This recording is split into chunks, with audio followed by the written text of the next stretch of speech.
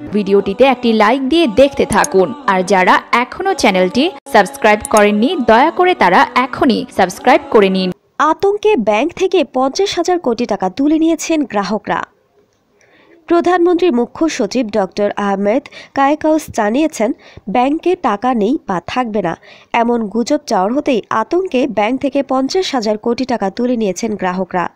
বাংলাদেশ উন্নয়ন গবেষণা প্রতিষ্ঠানের তিন দিনব্যাপী বার্ষিক উন্নয়ন সম্মেলনের সমাপনী অধিবেশনে শনিবার তেসরা ডিসেম্বর আমন্ত্রিত অতিথির বক্তব্যে তিনি এসব কথা বলেন।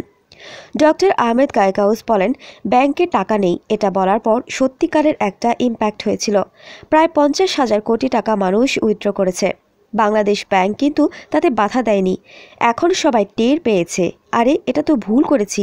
এখন সবাই টাকা ফেরত দিতে শুরু করেছে।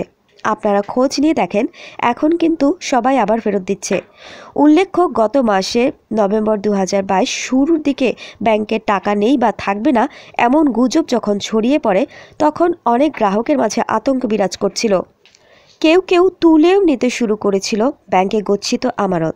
গুজবের ডালপালা যখন বেশ জেকে বসার চেষ্টা করছিল, তখনই বিজ্ঞপ্তি দিয়ে মানুষকে সচেতন করার চেষ্টা করে বাংলাদেশ ব্যাংক। গত তেরোই নভেম্বর বাংলাদেশ ব্যাংক জানায়, ব্যাংকে গচ্ছিত আমানত নিয়ে আতঙ্কিত হওয়ার কোনো কারণ নেই। বাংলাদেশের ব্যাংক ব্যবস্থা অত্যন্ত সুদৃঢ় অবস্থায় রয়েছে। দেশের ব্যাংকগুলোতে রক্ষিত আমানত সম্পূর্ণ নিরাপদ।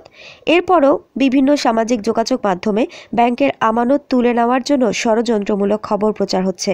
বাংলাদেশের ব্যাংকিং ব্যবস্থা অত্যন্ত সুদৃঢ় অবস্থায় রয়েছে। ব্যাংকিং ব্যবস্থায় তারল্যের কোনো সংকট নেই। এরকম আরও অনেক ভিডিও পেতে নিউজ এক্সপোজার টিভির সাথেই থাকুন, চ্যানেলটি সাবস্ক্রাইব করুন এবং সাথে বেল আইকনটি বাজিয়ে দিন।